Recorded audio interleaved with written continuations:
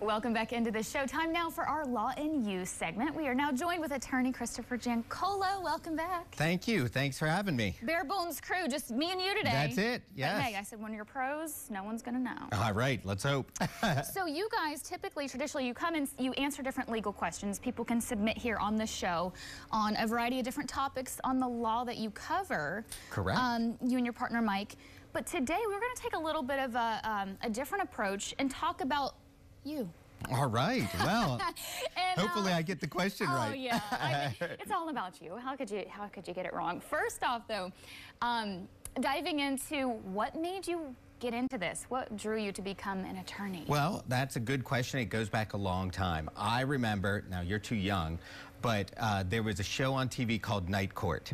And it was on during the 80s and early 90s. And it was, of course, a comedy. But I thought that the judge was just so much fun. And then also the attorneys and characters. So I always like had an interest in the law. Yeah. So then after that, of course, um, in high school, there was a elective class that was a law class. So we learned how to do briefs and did like legal arguments and things like Mm-hmm. that. So I still was interested in it. But I thought, boy, do I want to go to school for seven years? Uh, that's a long time, a long Right. commitment at 18 years old. So I went up to Mount Aloysius and I studied criminology, which was again still in the law Yeah. realm and psychology, and I took a bunch of law classes for that. And as I made it up through there, I enjoyed speech and speaking in front of people. I enjoyed performing and doing things along those lines. And I didn't want to go and join the real world yet. So I took the entrance exam for law school. It's called the LSAT because my buddy was taking it. And I kind of took it on a whim because it's something I was always interested in and didn't even study, and I scored Really? pretty well. Wow. Yeah, so I thought, oh, this is the route that maybe I should go.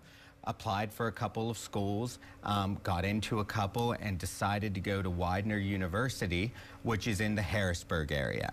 And that was a great choice because, first of all, um, I was around uh, my girlfriend at the time was going to Shippensburg, and she's now my wife. But anyway, yeah. so we were only about 45 minutes away, so we could still uh, hang out and be together.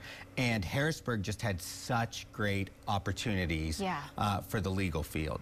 So I did my three years there and got to be picked um, for a fraternity. I was the president of our Phi Alpha Delta fraternity there, and we were a service fraternity. So I got to go into the schools and teach the kids the law. I was part of the mock trial Right. team. Yeah, do all of that fun stuff. And I worked for the state police headquarters as an intern, which was a really neat job to get my feet wet. And I was something called a certified legal intern. So, what a certified legal intern is, is that if I worked underneath an attorney, I could go into court, I could write briefs and all that stuff since I had already two and a half years under my belt. So that's that's kind of what led me to becoming an attorney. I always wanted to help people.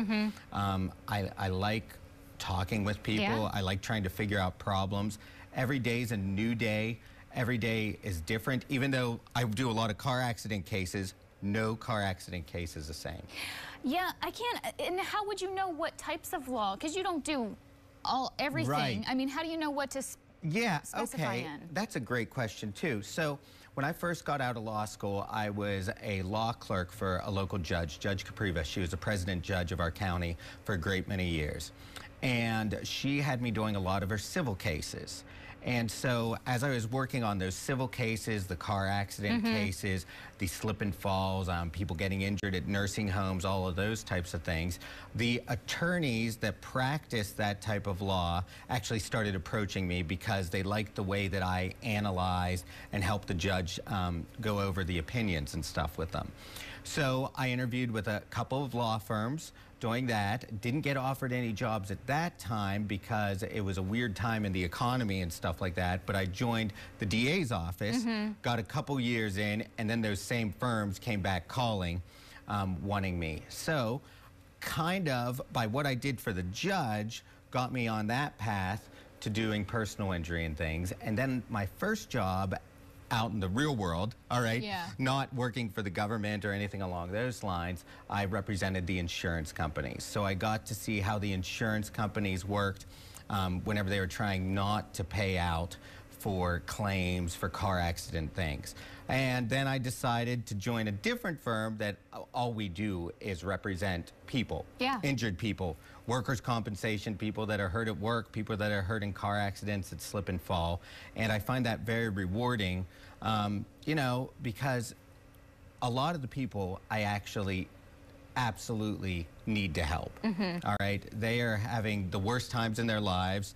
You know, um, even if you're involved in a small fender bender, it's a terrible time Yeah. of trying to figure out your car. But imagine if you're like seriously injured. So I find it very rewarding. And you can see it from all angles now. Yes. Because all these little experiences really kind of led you to where you are now. Absolutely. This- So the night court paid off. yes, exactly. Is, is it Yeah. quite different now that it kind of laughable? Yes, the real world is quite different, not as much fun.